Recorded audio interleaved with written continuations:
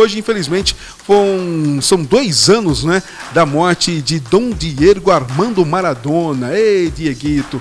Dieguito que nos deixou aí há dois anos atrás, no dia 25 de novembro, com 60 anos, com uma parada cardíaca, né? E hoje a Comembol e também a FIFA, o presidente da Comembol, o presidente da FIFA, fizeram uma homenagem ao lado de ídolos da Copa de 78, quando a Argentina ganhou seu primeiro Mundial, e outros craques também que foram campeões ao lado de Dom Diego Maradona em 1986.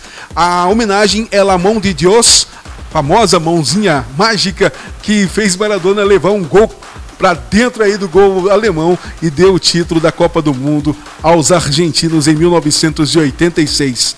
Uma homenagem justa a um dos maiores craques do futebol mundial, Dom Diego Armando Maradona.